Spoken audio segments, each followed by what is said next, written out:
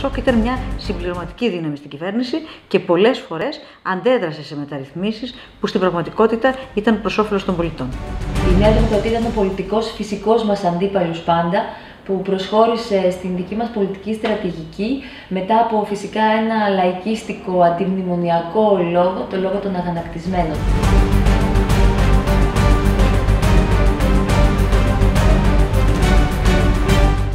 Συνυπήρξαμε με το Πασόκ στην κυβέρνηση από τον Ιούνιο του 2012 με ένα και μοναδικό στόχο, τη σωτηρία της χώρας και την παραμονή της στο ευρώ.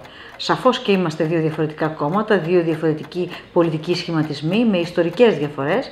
Αν σκεφτείτε ότι η Νέα Δημοκρατία ανήκει στην, κεντροδεξιά, στην Ευρωπαϊκή Κεντροδεξιά και το Πασόκ στους Σοσιαλιστές και Δημοκράτες. Εκτός αυτού λοιπόν, η Νέα Δημοκρατία είναι σήμερα ο κορμός της κυβέρνησης και είναι ο κορμός της κυβέρνησης που ήθελε τις μεταρρυθμίσεις, είναι ο κορμός της κυβέρνησης που ήθελε τις αλλαγές στο δημόσιο και είναι ο κορμός της κυβέρνησης που προχώρησε τη σωτηρία της χώρας. Το Πασόκ ήταν μια συμπληρωματική δύναμη στην κυβέρνηση και πολλές φορές αντέδρασε σε μεταρρυθμίσεις που στην πραγματικότητα ήταν προς όφελος των πολιτών. Ε, είναι λαθασμένη η εντύπωση ότι όταν συγκυβερνάνε δύο κόμματα, αυτό σημαίνει ότι δεν υπάρχουν και διαχωριστικές γραμμές. Η Νέα Δημοκρατία ήταν ο πολιτικός φυσικός μας αντίπαλος πάντα, που προσχώρησε στην δική μας πολιτική στρατηγική μετά από φυσικά ένα λαϊκίστικο αντιμνημονιακό λόγο, το λόγο των αγανακτισμένων. Ε, νομίζω ότι είναι, είναι γεγονός ότι η Νέα Δημοκρατία δεν έχει κοινωνικά πρόσημα, αλλά και αντανακλαστικά όπως αποδείχτηκε.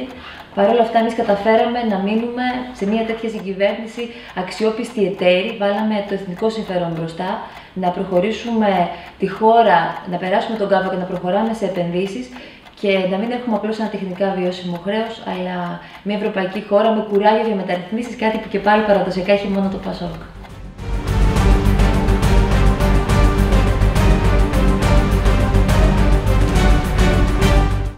Κερδίσαμε την εμπειρία της συνύπαρξης. Δύο ιστορικά διαφορετικά κόμματα, δύο κόμματα που συγκρίνονταν από το 1974, που εναλλάσσονταν στην εξουσία, αναγκάστηκαν εκ των πραγμάτων να καθίσουν γύρω από το ίδιο τραπέζι και να συμφωνήσουν σε βασικά ζητήματα.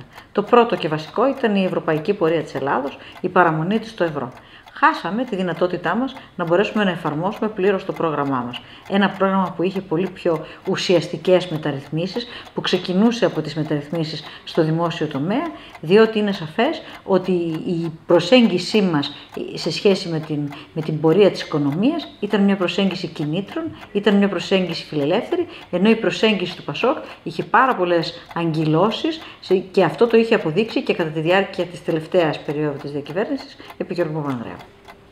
Δεν ήταν εύκολη η συγκυβέρνηση, καθώς όπως και ο ΣΥΡΙΖΑ σήμερα καλλιεργούσε προσδοκίες με τα ζάπια και μάλιστα το σιγοντάρισμα της πλατείας.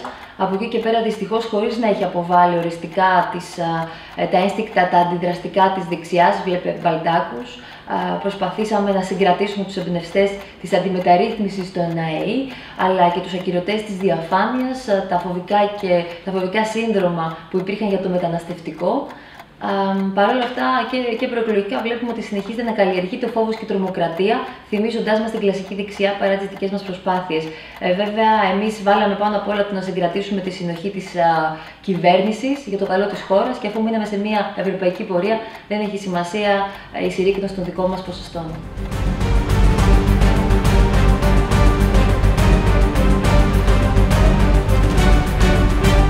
Καταρχήν δεν συνεχίζεται η ύφεση. Η πρόβλεψη είναι ότι η Ελλάδα θα έχει ανάπτυξη το 2015 2,9%, τη μεγαλύτερη στην Ευρωζώνη. Μετά δεν υπάρχει κούρεμα. Δεν το συζητάει κανένας, ούτε καν ο κύριος Τσίπρας πλέον. Ο κύριος Τσίπρας που το υποσχέθηκε πήρε το όχι των δανειστών προκαταβολικά πριν ακόμα φτάσουμε στις κάλπες. Μετά δεν υπάρχει αύξηση φόρων. Κανένας δεν συζητά την αύξηση των φόρων και κανένας δεν συζητά τη μείωση των μισθών. Αυτό που υπάρχει από την πλευρά του ΣΥΡΙΖΑ είναι η καλλιέργεια ψευδεστήσεων. Εμείς δεν λέμε ότι θα οδηγήσουμε τη χώρα στη Wonderland, ούτε, θα, ούτε ότι θα φτιάξουμε μια χώρα Disneyland. Εμείς λέμε ότι θα φτιάξουμε μια κανονική χώρα που θα μπορεί να δανείζεται, να επουλώνει τις πληγές της και να συνεχίζει τον πυρήνα της Ευρωπαϊκής Ένωσης. Περιορίσαμε τα χειρότερα, κρατήσαμε το τιμόνι σταθερά, ήμασταν βαθιά εκτεθειμένοι. Παρ' όλα αυτά μείναμε στο σκληρό πυρήνα της Ευρωπαϊκής Ένωσης και στη Δύση και ανακάπτουμε παρά το ότι δεν είχαμε παραγωγικό μοντέλο σε αυτή τη χώρα και ήταν όλα πολύ πιο δύσκολα. Περάσαμε όμως τον κάβο και έρχεται ένα πρόγραμμα από την Ευρωπαϊκή Ένωση για 315 δισεκατομμύρια στην ανάπτυξη και τις επενδύσεις. Έρχονται 17 δισεκατομμύρια με το νέο ΕΣΠΑ και καταφέρουμε να συνεχίζουμε με ευθύνη. Ε, είναι σίγουρο ότι δεν μπορείς να είσαι συμπαθής όταν είσαι πάνω, πάνω απ' όλα υπεύθυνος, αλλά τουλάχιστον να είμαστε χρήσιμοι. Αυτό είναι το σημαντικό και νομίζω ότι αυτός είναι και ο λόγος που κάποιος πρέπει να ψηφίσει ένα κόμμα το οποίο έχει δείξει ότι μπορεί να κρατήσει σταθερά το τιμόνι.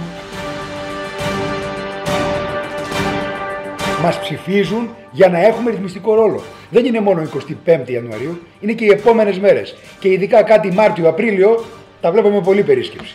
Να πάνε να ψηφίσουν μαζί με τα νιάτα και να τους κλειδώσουν σπίτι τους την επόμενη μέρα. Και τον Σαμαρά και τον Βενιζέλο και τον Γιώργο Παπανδρέου.